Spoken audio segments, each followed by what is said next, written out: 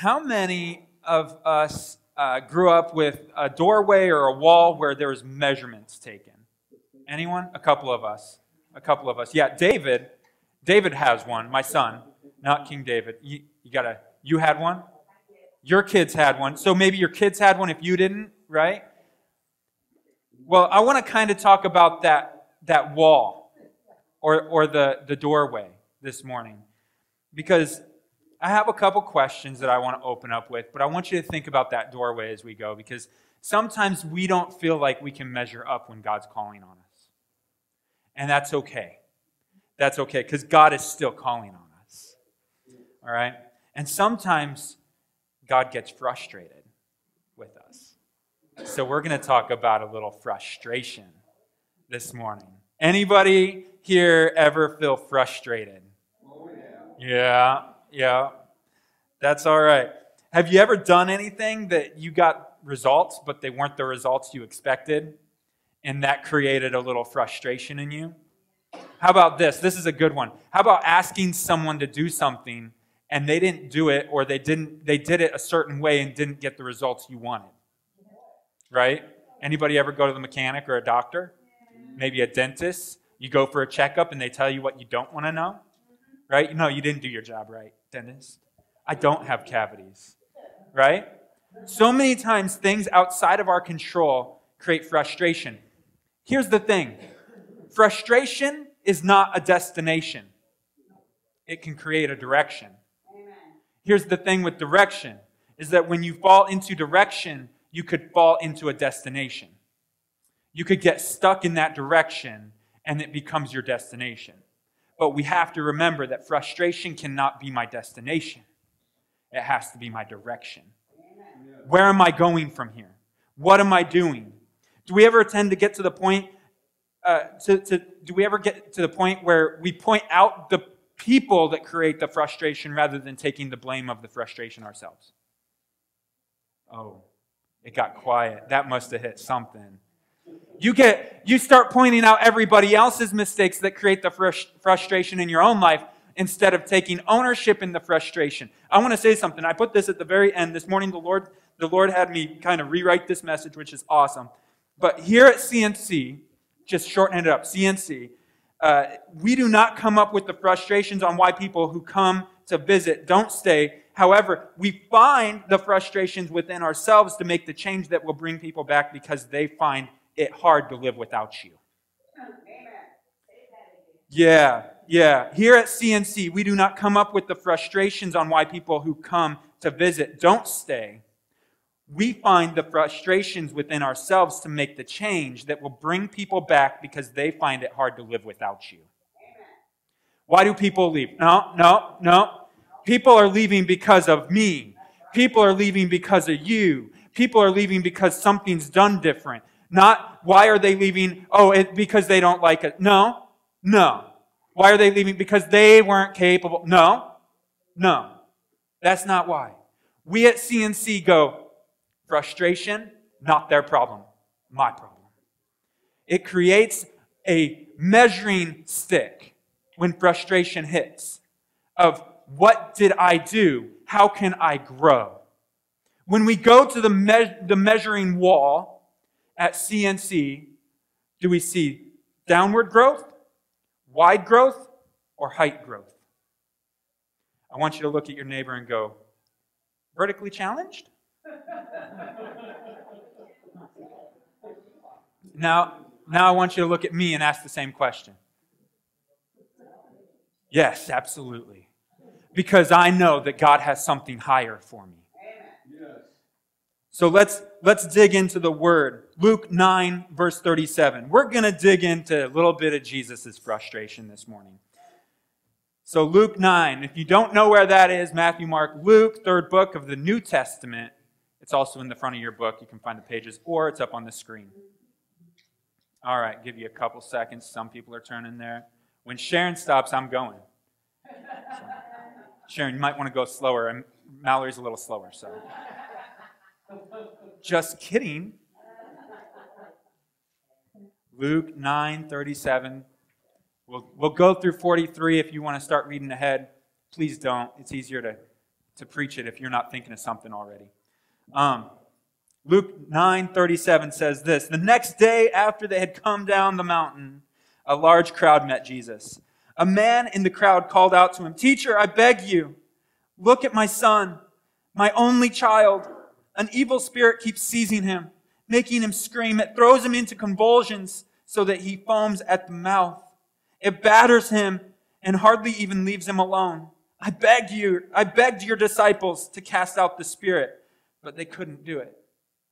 Jesus said, Hmm. I could just stop right there. It would be, oh man, what's Jesus gonna say? He's got something good. It's gonna be edifying. Let's, let's look at what Jesus says. He says this. Verse 41. You faithless and corrupt people. How long must I be with you and put up with you? Anyone ever feel like that? You're shaking your head no. You've never felt like that, ever. Anyone ever feel like, man, how long do I got to put up with these people? Well, knock it off. Last time I checked, you're not Jesus. Check it out. It continues on. Still in verse 41, right after he said, How long must I be with you to put up with you? Then he said to the man, hmm, Bring your son here. As the boy came forward, the demon knocked him to the ground and threw him into a violent convulsion. But Jesus rebuked the evil spirit and healed the boy. Then he gave him back to his father. Ah, gripped the people as they saw this majestic display of God's power. Frustration can direct the way we grow. If we sit in frustration, we allow it to be the direction of our lives, not just the direction of our moment we will end up having a destination of frustration. Destination of frustration is not going to lead to a good place in life. You're not going to be happy, you're going to frown a lot, and you're going to be upset. We all know those grumpy old men, right? But it can happen to you too. We can't get caught in the trap of Satan when he brings something that frustrates you because he knows your weakness. You have to overcome the frustration of your weakness. We have to overcome the frustration of our weakness. Jesus is frustrated with his disciples, but he's more frustrated because they couldn't do the healing. See, it wasn't the disciples he was as frustrated with, it was the, the faithlessness that he was frustrated with. How many times in life are we frustrated with something because it's a godly frustration? Think about all the things you're frustrated with. Okay, now where's God in those frustrations? The mower doesn't start. I know, I'm just going to pick out a couple of mine. The mower doesn't start. Oh no, I'm frustrated.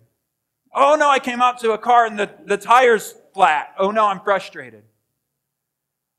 Maybe you came out to the tractor. I picked on Mark a little.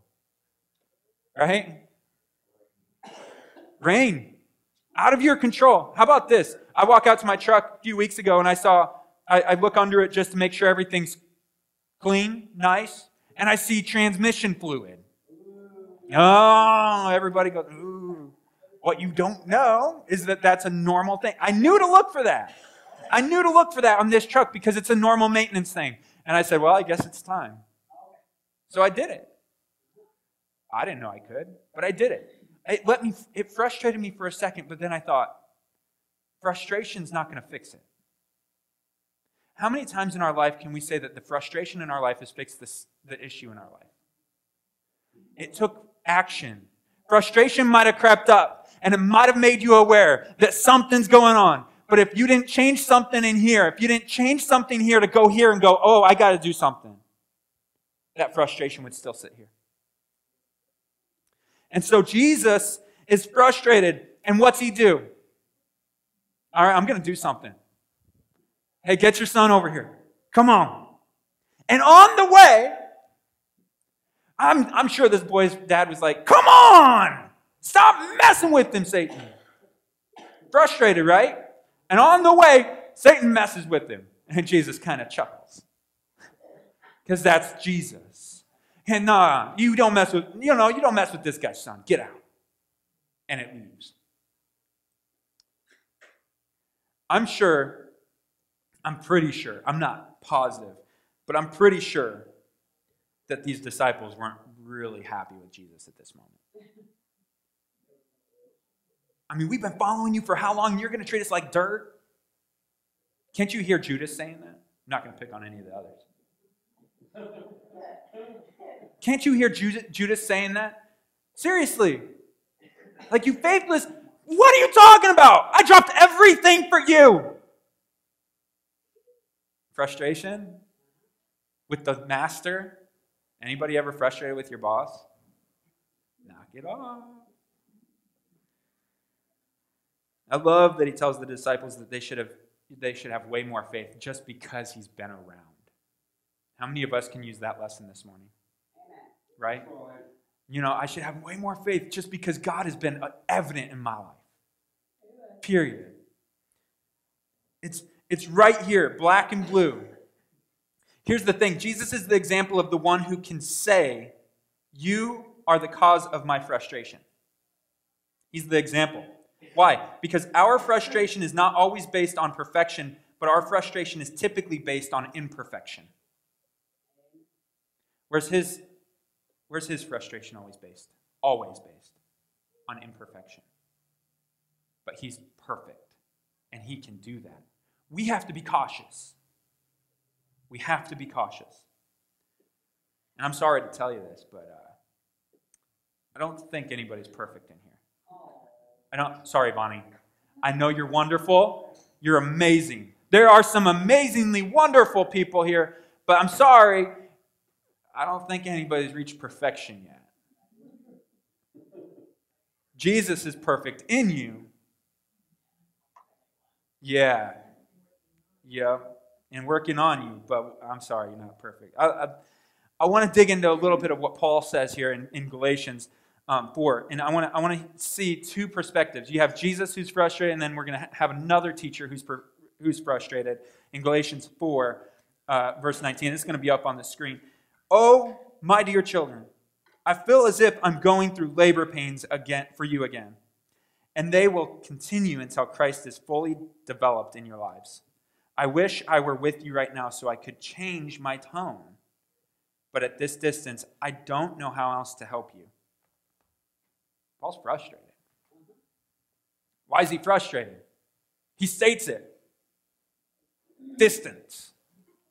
If I was closer to you and I saw you working, I could be there to comfort you and guide you and direct you.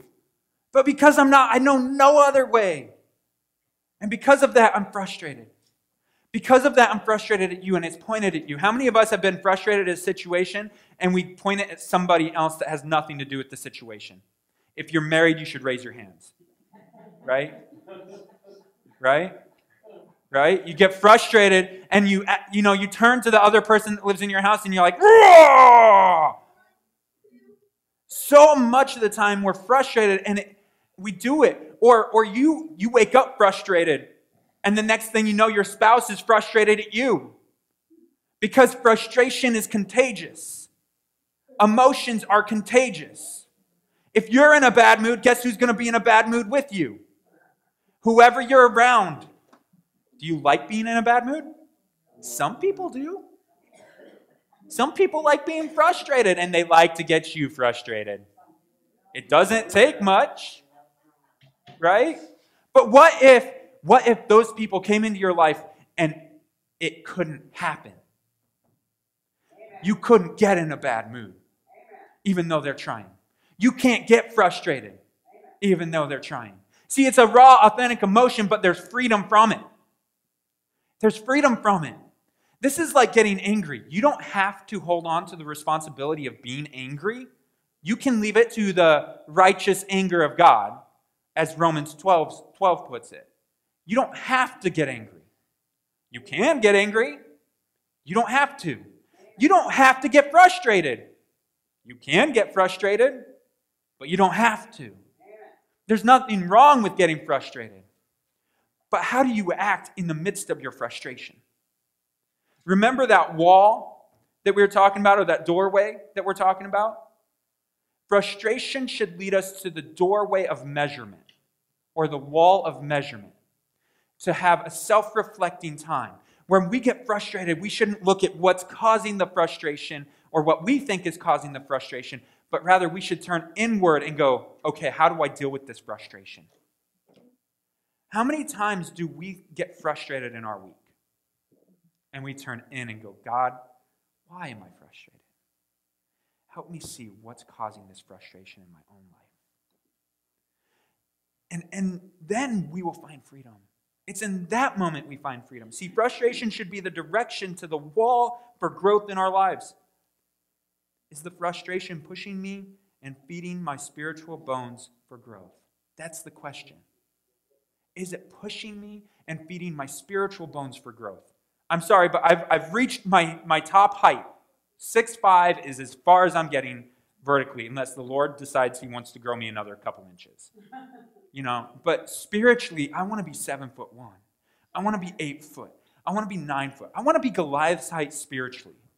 That's weird. I just used an enemy for spiritual recognition. Like, I want to be as tall as God has for me, but I want to reach the heavens for spiritual height. I want, I want heaven not to come to earth every day. I do want that, but I want to wake up, stand up, and be in heaven spiritually. I want to have that growth. But I know without frustration in my life, I can't turn to the wall and go, how, how tall am I, God? And then when I walk up to the wall, I can't ask the questions. I can't ask, Lord, what's wrong with me? Lord, what's going on inside me? Lord, re- help me see. Help me see. Because guess what? I have no control over anyone else except for myself. And if I try to take that control, if I try to push that control, I'm just operating out of frustration rather than out of the love of Jesus. Anybody ever try to take control of everything around them and try to change people's lives for them? I mean, think about it. Have you ever? Have you ever? Every Christian I've ever met at one point or another has tried to change someone for them. Why? Because we're told to preach the gospel. Right? And then if someone doesn't come to the gospel, we're just like, oh, you're an idiot. And that's probably true. But the way we react to them not coming to the gospel is going to speak louder than them trying to come to the gospel. Right? What if we opened our arms wider when they said no? Right? Instead of, oh, I'm so frustrated, I want them to get it. Has anyone ever thought, well, why aren't they getting it? Right? But God is so good that He forgives. You know, all this frustration and frustration towards someone, it, it's, it gets ridiculous in our lives. But the reality is, is that God says, oh, no, no, no, no. Remember what I did to the disciples? I'm the one that allows the frustration to be done. I can be, fr- like Jesus says, I can be frustrated because I'm perfect. I'm sorry, but in anyone's craft or, or their job, have they done everything right every time? What'd you have to do to get to that point where you're at now? Learn. So hold on. Jesus never failed. And what that song say? You're never going to let me down. In other words, you're never going to fail me, God. Jesus can't fail. And when he's frustrated, we have to listen. And so going up to that wall in our frustration, we're actually looking to God saying, God, What's the frustration you have with me today? Mm, that just hit somebody. I just got goosebumps. That's good when the Lord says that. You walk up to your measuring wall and you look at the lines that God's put above your head because He's your spiritual daddy. And He, he, he puts that you're, you know, when you're a baby, you're down here. But actually, because you didn't know any better, He marked you way up here and then, you know? Like, I don't know. I'm just throwing that out there. It's, it's, it's not proven. You know, you're, you're marked down here at some point in your life, and, and as you find Jesus, he marks you up and he goes, Oh, good and faithful servant. And then, then you go, Oh, I don't really, you're in high school, and high school things happen, and drinking and, and partying, and, and then it's like, Oh, yeah, yeah, yeah. Right? And God shows you how much you've shrunk. And then you have this God, God moment, and God's like, Oh, let me get the sledgehammer of love here and swings it like a baseball bat right across your face, and you're like, Oh Lord, I'm so sorry. I'm so sorry. Love me. Forgive me for what I've done. And he goes, Okay, we're back up. We're back up to that mark, right? And then what happens? Then we start reading the Bible and he's like, oh, good and faithful servant. Oh, oh, you sinned today. Let's bring you down a little bit. Spiritual height, you lost a little bit, right? Anyone ever feel like in past years, I was so much more spiritual? I was so in it. I read the Bible every day. I prayed in the Spirit every day. I was slain in the Spirit every day. No one had to pray. Over. Maybe I'm going overboard. But the reality is, is we felt like something better was happening in the past than it is today. And God's saying, Well, have you asked me what I'm frustrated about? And if it points, when you pray and He speaks, if you hear Him speaking and He's pointing out of you rather than in you, check again. Because your heart should be asking, What's wrong here? I only have control of this. I'll tell you what, I, have been, I've been praying with my wife every day for the past like two weeks, and it's been amazing. But we've also been studying the Word of God together. And what's funny is we started studying the Word of God together, and she goes, How did you come up with that? And I'm like, How did I come up with what? And we are reading a scripture, and say we are reading Galatians 4 19 through 20. This is a frustration of God's in my life. I'm sharing it that we weren't reading together, we weren't praying together every day. We just weren't. We, didn't, we just didn't do it. It wasn't a practice of ours, but now it is. And so we would read a, a scripture like, Oh, my dear children, how I feel as if I'm going through labor pains for you again. And she, she'd be like, Okay, what's that mean? And I'd be like, Paul's a dude. How can he feel labor pains? And she goes, What? What's funny is when you're studying the Word of God, don't just read it. Stop. Oh, my dear children, stop. You can't get the next part if you don't know what that part means. Oh, my dear children, he is saying that those people in Galatia are his children. His children.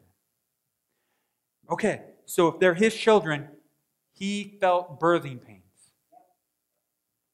Now, I'm a dude.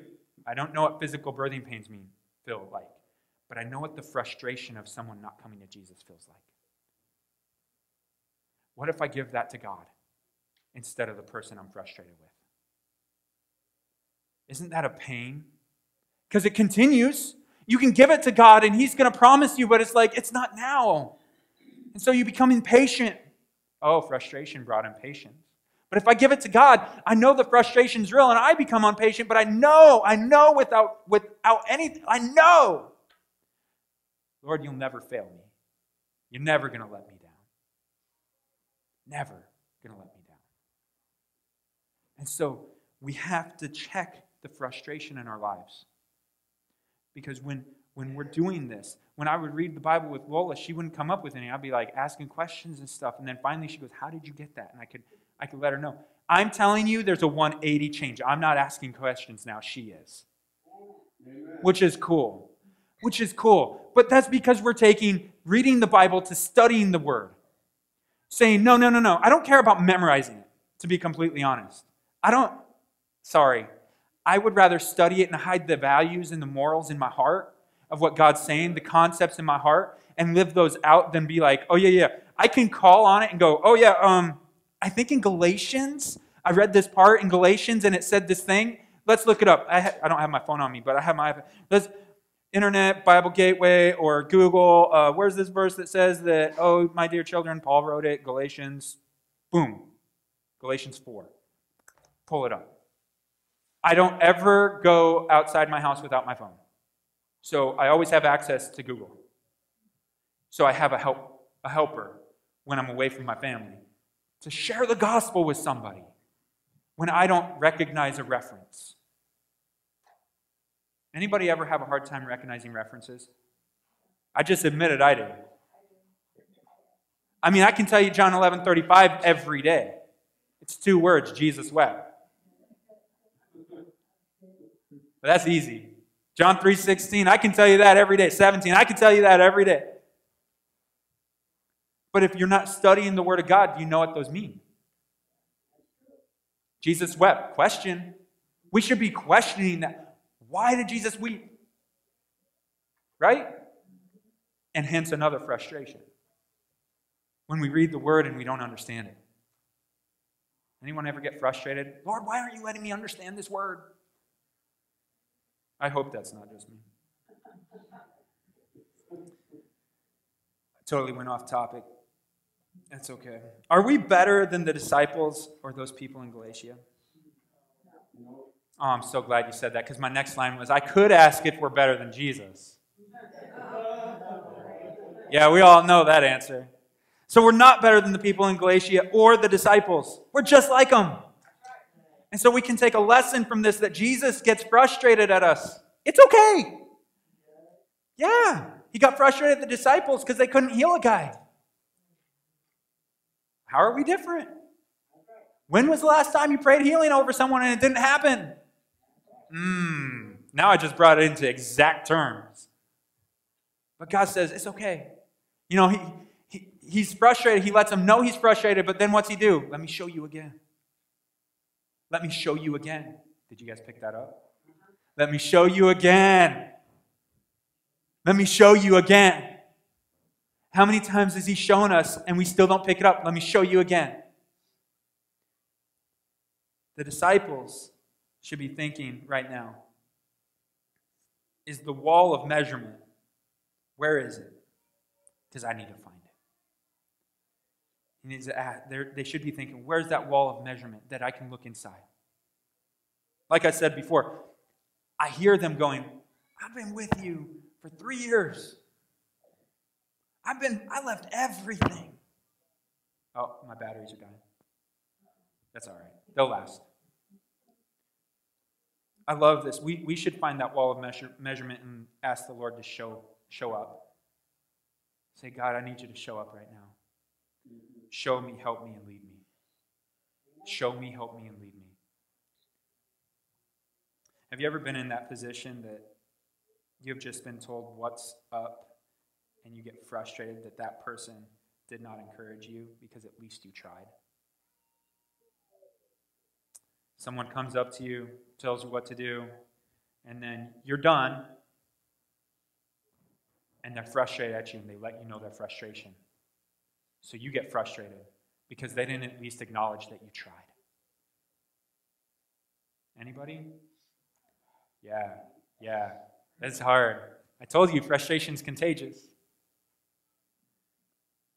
I think almost 100% positive that the disciples are thinking that right now. I, I can't be sure, obviously. So don't, don't take that to the Word of God. But I can imagine if it was me if Jesus said that. My skin, Jesus. That's exactly where I need you. But sometimes we just don't want him there. Maybe, maybe this is real to us right now. Maybe this, this you can be like, that's me. That's, that's me in this moment. Maybe that's you. See, the disciples could be thinking, yeah, I didn't measure up. And they'd be right. But Jesus then shows them how to measure up. See, that's the thing. When we spiritually think, I need to go to this wall of measurement. Lord, how, how do I need to measure up today? We should daily go to that wall. I know when I tell my son, hey, let's measure you, he's all excited. Are you guys excited about being spiritually measured today? Yeah. Frustration. No, God, no. Wait till you're frustrated. It'll change your mood. But frustration should set in, and we should be like so excited to go to the wall of growth. We should be so excited. It, it's one of those things that, like, where we go to the wall and we ask God to help me be less vertically challenged today. I'll have the band come on up. Help me be less vertically challenged today. It's good news. Your frustration, even anger, can lead you to the wall of measurement. God, show me where I've failed today. Already. It's morning, right? It's what? It's almost 11. It's almost 11. I'm not there yet. God, show me. Isn't that good? Isn't that good? Lord, show me where I've failed. Because I want to repair it. I want to fix it. I want to go forward. I want to grow in spiritual attitude with you, God. I want to be the guy that's never frustrated at. I want to be the guy that when I am frustrated at, I can go, oh, it's all good. I'll fix that. because I'll look here first. See, God is so good to give us that, that emotion of frustration because it's a measurement of our spiritual growth. It's a measurement of our spiritual growth. I can hear Jesus in some points in my life saying, Haven't I been here long enough? Haven't I been here long enough? And I hear, when I hear that, I hear, Jesus is giving me a chance. He's given me a chance. I walk to that wall and I get that chance. I walk to that wall and I get that chance. Frustration can grow you into something you weren't created to be. Remember that destination? Frustration can lead you in the destination of something you're not supposed to be. Frustration can direct you in the destination of something you're not supposed to be. God did not create the disciples to be failures even though in this moment, they're just like you and I, failures. So, guess what that means for you and me? We weren't created to be failures, but we fail. I'm going to repeat what I said at the beginning here at CNC. We do not come up with frustrations on why people who come to visit us don't stay. Rather, we find the frustrations within ourselves to make a change that will bring people back because they can't live without you. When they walk in these doors, this is why we change. Because when people walk in this door, they find people they can't live without. No, I need them. I can't wait for next Sunday because I need you. I want to be with you. You know, our vision is a place to live your purpose. Yes. And if we're creating a place to live your purpose, then people are going, I can't live without it. How many of you live without a purpose? Raise your hands. Live without one? How many of you live without a purpose? No. No, we all have purpose. We all know what it is. People outside this church don't know what theirs is. What you gonna do about it? what you to do about it. If people have a place to live their purpose, I promise you, they'll find a place to stay. They'll feel warmth and arms. They'll feel Jesus. But if we sit in a life of frustration, it will stunt our growth. Frustration will stunt our growth if we let it become our destination rather than our direction.